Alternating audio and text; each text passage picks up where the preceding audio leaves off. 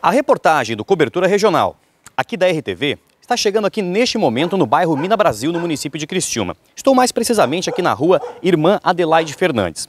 E eu vou confessar, nós vamos fazer um tipo de matéria aqui agora que eu particularmente não gosto de fazer.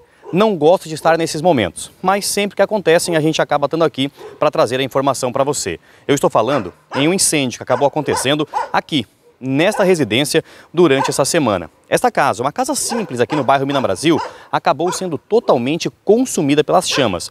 Esta ocorrência foi atendida pela guarnição do Corpo de Bombeiros, que veio aqui e a quando chegou, essa unidade essa edificação aqui de alvenaria mista, né, madeira e material, ela já estava praticamente toda consumida pelas chamas. De acordo com as informações repassadas pelo 4 Batalhão de Corpo de Bombeiros aqui do município de Criciúma, cerca de 3 mil litros de água foram utilizados para fazer, é, para conter né, as chamas e para fazer o rescaldo aqui deste incêndio que acabou destruindo toda esta unidade familiar. Eu quero tentar chegar aqui perto, tem, tem cachorro aqui na residência, nós pegamos algumas informações aqui com alguns vizinhos de que não tem mais mais ninguém aqui agora morando, né, até porque não há mais condições de ter ninguém aqui neste momento, e que eles estiveram aqui pela manhã, na manhã dessa sexta-feira, para poder fazer a verificação, ainda tirar alguns objetos, alguns poucos pertences que acabaram sobrando em razão desse incêndio, mas que neste momento não há, não há ninguém. Tem os animais aqui da família, né? Pode filmar aqui, Carioca. Tem este que está aqui no portão, tem um outro, Carioca. Consegue filmar aqui, ó, na lateralzinha que está ali, né? Só nos observando também do ladinho. E tem um outro, tem um terceiro que está mais quietinho,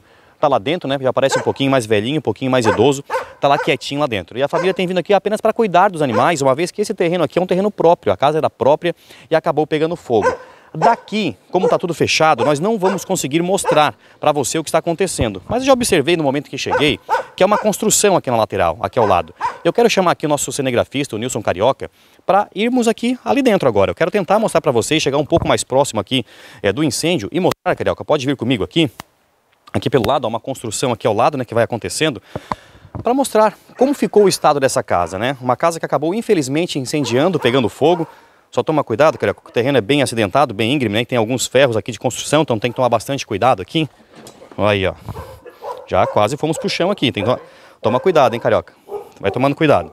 A gente vai vindo aqui na lateral, que aqui a gente consegue se aproximar, a gente consegue ver que tem um pouco de fumaça ainda no interior da casa, da residência, né?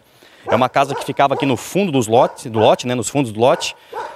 E até aqui. Até aqui a gente consegue chegar, nos aproximar e aqui a gente consegue ter uma dimensão melhor, Carioca, daquilo que realmente aconteceu com essa moradia, né? A gente vê toda a parte interna da casa toda incendiada. De acordo com as informações que nós temos, eles conseguiram salvar alguns poucos móveis que estavam nessa parte externa, nessa área que você está vendo aqui. Inclusive é uma moto ali, Carioca, ainda do proprietário da casa, né?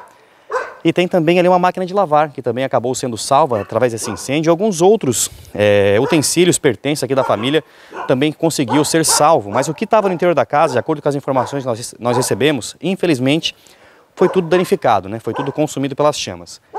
Inclusive, Carioca, chega aqui comigo, aqui, ó, só para mostrar, na parte superior, essa casa, ela, como ela fica no fundo do lote, ela fica muito próxima da casa dos fundos. Vem aqui, Carioca, pode vir comigo aqui. Eu quero chegar até um pouco mais no fundo do terreno, para a gente conseguir ter uma, uma, dimensão, né? Um pouco melhor daquilo que, que, que aconteceu aqui. Porque como ó, aqui está a casinha, ó. A casinha está aqui nessa parte de fundo aqui, e ela fica muito próxima, que eu não sei se você consegue pegar naquela parte superior lá, da casa de trás. Então lá também acabou pegando as chamas ali, na parte da caixa, né? Da caixinha ali da, é, da casa de trás. E toda a parte de PVC também acabou sendo consumido pelas chamas. As chamas acabaram pegando aqui nessa casa e acabou aí também danificando. Por sorte, acabou também, não, a chama não se alastrou. O corpo de bombeiro agiu rápido, conseguiu fazer a contenção das chamas nessa ocorrência. Triste, né, que a gente está registrando aqui, que acabou acontecendo aqui no bairro Mina Brasil durante essa semana. Foi na quarta-feira esse incêndio, dia 1 que acabou... Na verdade, hoje é dia 2, Carioca, só me ajuda. Hoje é sexta-feira? Dia 2, é isso mesmo, Carioca está me ajudando aqui agora só para não confundir. Foi, foi ontem, então, foi na quinta-feira que aconteceu esse incêndio aqui, né? Que o corpo de bombeiros conseguiu vir fazer a contenção das chamas e acabou conseguindo salvar né, aquilo que, que acabou ficando, né, um pouco da, dos objetos, dos utensílios que acabaram sobrando aqui. Então tá aqui, estamos aqui bem ao lado, no bairro Minas Brasil.